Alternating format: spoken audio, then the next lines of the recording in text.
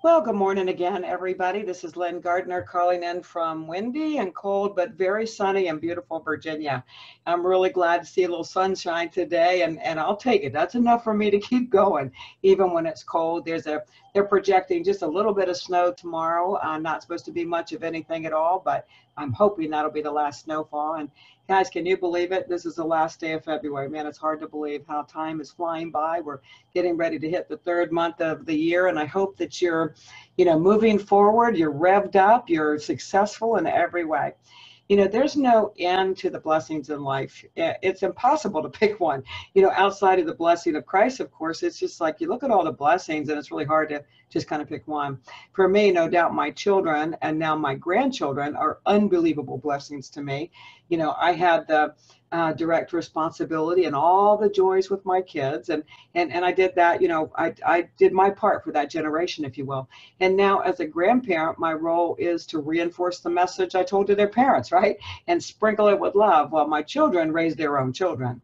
Just the thought that I was handpicked to be the mother of my gang and entrusted with raising up that godly generation is definitely my greatest blessing on this earth because the fruit of my labor is going to last from generation to generation.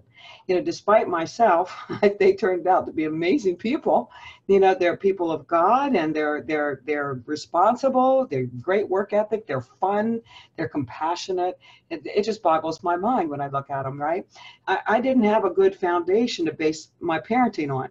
So many times I really felt like I was flying by the seat of my pants. But I knew I had God and I knew that He'd give me wisdom anytime I asked for it. And so I had that piece there. But there's another piece of that puzzle that led to my success as a mother. In fact, this piece will lead to success in any area of life. I learned this piece as part of my business journey decades ago. You know, when I was still doing the corporate world, I was I was teaching Dale Carnegie time. That was a long time ago. And without even thinking about it, I applied it to my children. It becomes second nature to me. My oldest daughter has no idea um, how much she blesses me. She's the mother of my oldest grandchildren, right? And and she calls attention to some of the parenting ways that I, you know, implemented, and now she's implementing them with her own family.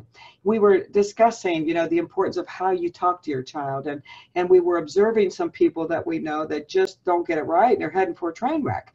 You know, I always took the time to explain a correction to my children, to my employees, to my significant other, to anybody in my life.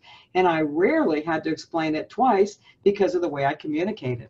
I treated everybody, in this case, we're talking about my children, I treated them with respect. You know, I, I wanted it from them, so they got it from me, no matter what wrong they had committed. And frankly, there were some pretty serious wrongs along the way. They didn't get an emotional lecture from me filled with threats. I didn't beat my chest and remind them of who I am. I never threw in their faces all the things I did for them. I never made them feel like they owe me just because I gave birth to them, right? Instead, I worked hard to be the best communicator with some pretty serious messages, and I succeeded by doing a few things that everybody needs to do to communicate well in every area of your life, from your relationships, you know, to those with your children, to your faith, but especially today, for, in this case, for your business. So what's the secret? Well, First, you tell them what you're going to tell them, then you tell them, then you tell them what you told them. You know, you might be laughing if you've never heard that before. Some of you have, and some of you haven't, but it's actually the strategy that many pastors use for their sermons, that three part sermon you hear about. They don't run to the platform, get straight to the point, start beating you into submission. They set up a message in three parts. You know, tell them what you're going to tell them then tell them, then tell them what you told them, and it ends with a call to action in the pulpit in church and in every area of life. It's an age old communication strategy that will never, ever fail you. I still apply this communication strategy without even thinking about it today, no matter who I'm talking to or what the situation is. You guys will often see it if you follow me on Facebook and you look at a spiritual message, you'll see that in play. You'll see that I'm, I'm telling you what I'm going to tell you, then I tell you, then I tell you what I told you. And that's one of the reasons I think it resonates with so many people. So it's this whole interaction and observation with my oldest child and discussions that we've had recently that inspired the message today entitled Three Parts to Every Success Story. If there's one mistake most people make, um, they, they muddle their way towards success in any area of life because they fail to do this. It, it, it they focus more on what they want to say than how the person is going to hear what they say, right? We tend to get straight to the point. We've only got a couple minutes. We're in fast motion. The information highway gives us our attention span is, is, is shrinking every day. So we get straight to the point and we overlook the importance of structuring the message for success. You know, in relationships and with our children, we often believe that we should only have to say something once and then change needs to happen. But most of the time, when we use that strategy of say it one time, the positive results are limited only to somebody doing what you told them to do just to shut you up, to be honest with you, instead of really driving home the message with good communication so that you never, ever have to go down the road again. When I observe business people, it boggles my mind because what we usually see is people telling people what they need to do or what they need to buy and skipping all the steps that come before and after. They go straight for the jugular without considering the importance of a three part story. We don't begin with the first part of that process, you know, tell them what they're going to tell them. And we don't pick up at the end where we tell them what we told them and we ask for a call to auction. We just spit out what we think they need to, to know from where we sit. And although most of them will at least entertain the conversation, they really, a lot of them don't latch on because we failed to communicate the three parts. Believe it or not, the first part of that, you know, telling them what you're going to tell them is the most important part of all. Not what you tell them, but telling them what you're going to tell them. But most people will say, well, why don't I just tell them instead? Why do I want to do this? Because it's during that telling them, you know, what you're going to tell them that the entire conversation will be positioned for success.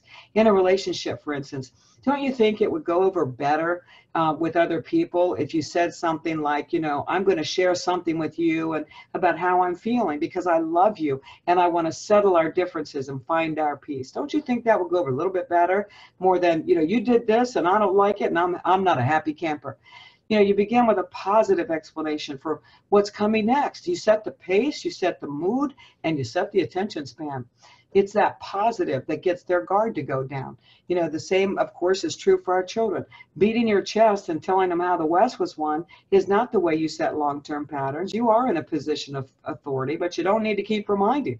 Don't you think it might be better if you begin with the first of three parts of your story? If you begin with something like, I love you and I want to be sure that I do my part to help you not repeat that problem. Don't you see how saying that goes a lot farther than if either you do this or you're grounded?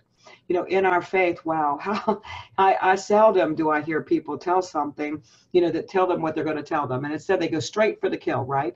And, you know, you, but don't you think if you began by saying something like, I've got something to share with you, a solution for life, and within a few minutes, your life will never be the same again.